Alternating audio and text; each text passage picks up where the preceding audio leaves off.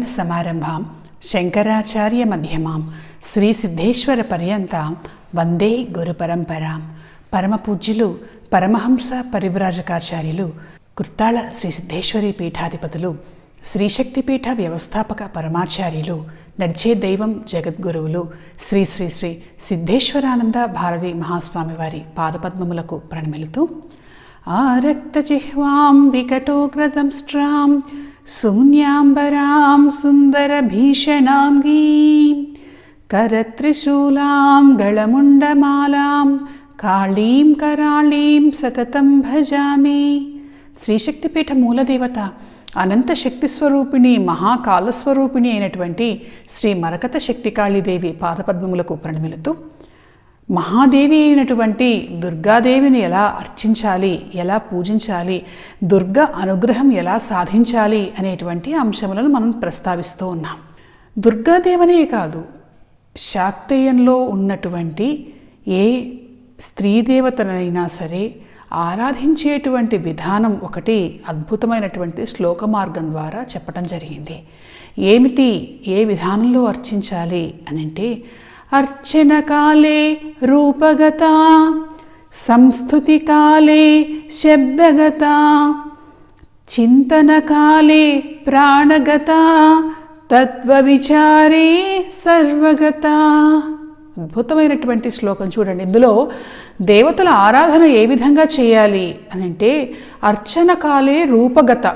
అర్చించ చేసేటువంటి సమయంలో అంటే పూజ చేసేటువంటి సమయంలో ఒక రూపాన్ని మీరు అర్చించండి. ఎందుకని అని అంటే ఒక రూపాన్ని గనక భావించి మన ముందు గనక చూడగలిగితే దేవత ఇదిగో ఈ రూపంలో వచ్చింది నా ముందు కూర్చున్నది నేను సమర్పించేటువంటి పుష్పములను స్వీకరిస్తుంది నైవేద్యాన్ని స్వీకరిస్తున్నది హారతిని గ్రహిస్తుంది అనేటువంటి భావన కలగటంతో పాటుగా ఆ రూపం మీద ప్రీతి కలుగుతుంది. ఆ రూపంలో ఉన్నటువంటి దేవతకు కూడా మన మీద తొందరగా అనుగ్రహం కలుగుతుంది. ఇది ఒక రూపాన్ని భావించి చేసేటువంటి విధానం. అంటే ఒక పూజ చేసుకుంటున్నా ఒక అభిషేకం చేసుకుంటున్నా కూర్చొని దేవత మనము దానితోడు ఒక ప్రక్రియ. అభిషేకమో పూజో లేకపోతే కుంకుమార్చన ఏదైనా కావచ్చు. ఇది ఒక రూపాన్ని భావించి చేసేటువంటి వ్యవహారం. అలా కాకుండా సంస్థుతి కాలే శబ్దగత. స్థుతిస్తున్నాం దేవతను. పూజలో భాగంగా పారాయణ చేయొచ్చు. అక్కడ ఉన్నటువంటి దేవీ రూపాన్ని భావించవచ్చు ఒక్కోసారి ఏ పూజలు ఏ ఆరాధనలు లేకుండా కేవలం స్థుతి ద్వారానే దేవిని ఆరాధించవచ్చు అప్పుడు ఎలా ఏ రూపంలో ఆరాధించాలి అంటే మనం స్థుతించేటువంటి స్తోత్రములు ఏవైతే ఉన్నాయో అందులో నుండి వచ్చేటువంటి ప్రతి శబ్దములోనూ కూడాను పరమేశ్వరి ఉన్నది. ఇక్కడ శబ్ద స్వరూపంలో ఉన్నటువంటి పరమేశ్వరిని మనం శ్లోకముల ద్వారా స్తోత్రముల ద్వారా మంత్రముల ద్వారా మనము ఆరాధిస్తూ ఉన్నాము. అందుకనే సంస్థుతి చేసేటువంటి సమయంలో శబ్ద స్వరూపమైనటువంటి పరమేశ్వరుని భావించటం. అందుకని ఈ సమస్తమైనటువంటి సృష్టి కూడా ఓంకారంలో నుంచి వచ్చింది. ఓంకారం అంటే ఆది నాదము స్థుతి ఆ శబ్దము సాక్షాత్ పరమేశ్వరి స్వరూపం లేదా పరమేశ్వర స్వరూపము అని మన పురాణ వాంగ్మయం మనకు చెప్తున్నది. అంటే శబ్ద స్వరూపమైనటువంటి దేవతను భావించండి. స్తోత్రాలు మనం చదువుతుంటేనే కాదు ఒక్కొక్కసారి ఇతరులు చదువుతూ ఉంటే మనం వింటూ ఉంటాం శ్రవణం చేస్తూ ఉంటాం. వాళ్ళు చెప్పేటువంటి దాన్ని మనం ఏదో ఊరికే ఏదో మంచి శ్లోకాలు పాడుతున్నారులే స్తోత్రాలు పాడుతున్నారులే అమ్మవారి గురించి పాటలు బాగున్నాయిలే రాగం తాళం బాగుందిలే కాదు. శబ్ద రూపంలో దేవతను ఆరాధించేటువంటి విధానంగా దాన్ని భావించాలి. చింతన కాలే ప్రాణగత. చింతించేటువంటి సమయంలో ఆలోచించేటువంటి సమయంలో ప్రతి వ్యక్తికి కూడాను రకరకాల ఆలోచనలు వస్తూ ఉంటాయి. అసలు ఆలోచన రానటువంటి మనిషి ఆలోచన రానటువంటి సమయం ఉండదేమో అన్ని ఆలోచనలు వస్తూ ఉంటాయి. రకరకాల ఆలోచనలు అందులో మంచి ఆలోచనలు వస్తుంటాయి చెడ్డ ఆలోచనలు వస్తుంటాయి. ఈ ఆలోచనలు వస్తున్నప్పుడు ఎట్లా ఏం చేయాలి అని అంటే మాకు బాగా నెగిటివ్ థాట్స్ వస్తున్నాయండి. ఈ నెగిటివిటీని ఎలా పోగొట్టుకోవాలి అని అంటే ఇదిగో ఇక్కడ చెప్తున్నాడు చూడండి. చింతనకాలే ప్రాణగత. నా ప్రాణస్వరూపంలో అమ్మవారు ఉన్నది పరమేశ్వరి ఉన్నది. ఆమె గురించి ఆలోచిస్తాను. ఆలోచనమేవ తపహ అని చెప్పినట్లుగా ఆలోచించటమే ఒక తపస్సు. నాలో నా హృదయాకాశంలో దహరాకాశంలో ఉన్నది అమ్మవారు.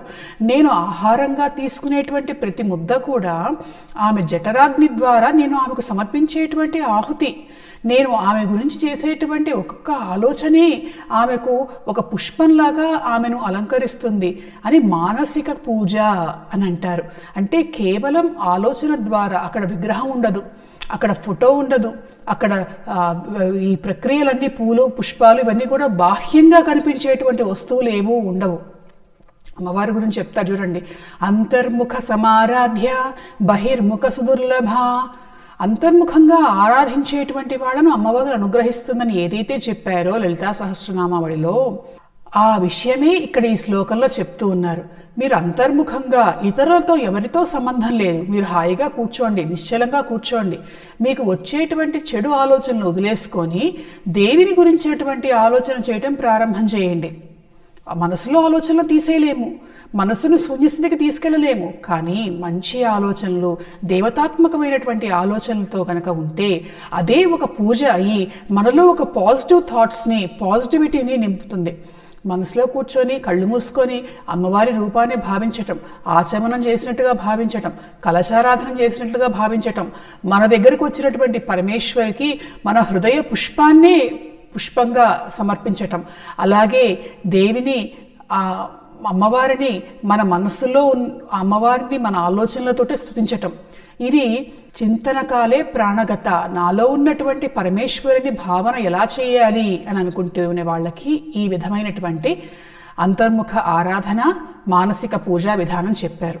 అట్లా కాదు. తత్వ విచారే సర్వగత.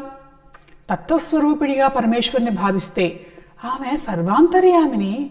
ఆమె లేనటువంటి చోటు ఎక్కడున్నది నాలో ఉన్నది ఆమె నీలో ఉన్నది ఆమె ప్రపంచంలో అణు అణువులోనూ ఉన్నది ఆమె అనేటువంటి భావన గనక తత్వ విచారం చేసి విచారణ చేసేటువంటి సమయంలో కనుక మనం గమనిస్తే సర్వాంతర్యామిని అయినటువంటి పరమేశ్వరిగా మనం అమ్మవారిని భావించవచ్చు. అంటే ఒక రూపంలో అమ్మవారిని ఆరాధించవచ్చు శబ్ద మార్గంలో శబ్ద స్వరూపిణిగా అమ్మవారిని ఆరాధించవచ్చు. మన శరీరంలో ఆత్మస్వరూపిణిగా ప్రాణస్వరూపిణిగా ఉన్నటువంటి పరమేశ్వరిని ఆరాధించవచ్చు వీటన్నిటికీ అతీతం. కేవలం నాకు మాత్రమే పరిమితం కాదు నాలో మాత్రమే కన్- పరిమితం కాదు.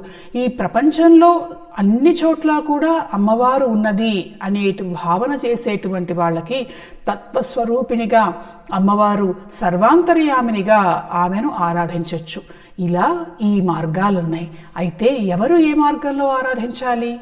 ఏ ఏ విధంగా ఆరాధించాలి? వీటికి ఏమైనా నియమాలు ఉన్నాయా పూజలు అందరూ చేస్తూ ఉంటారు. స్తోత్రాలు అందరూ చదువుతూ ఉంటారు. మనం రకరకాల పనులు చేస్తూ ఉంటాం. అందులో మంచి ఉంటాయి చెడు ఉంటాయి. నిజాలు చెప్తే బాగానే ఉంటుంది. కొన్నిసార్లు అబద్ధాలు చెప్పవలసి వస్తుంది. మరి అలాంటప్పుడు ప్రాణగత అని అన్నారు. మన ప్రాణంలో అమ్మవారు ఉందని మనం అనుకోవచ్చా?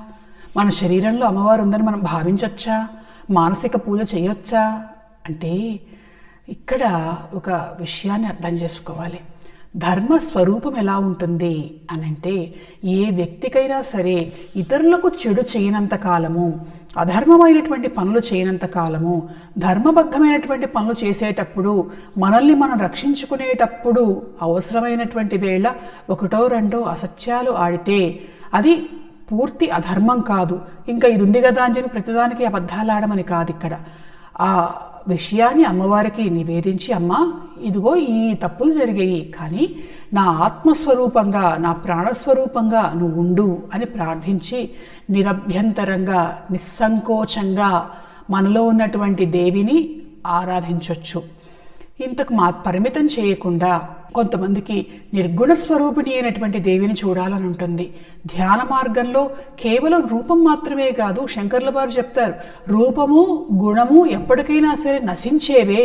వీటికి అతీతమైనటువంటిది ఎప్పటికీ నశించినటువంటిది నిర్గుణమైనటువంటిది.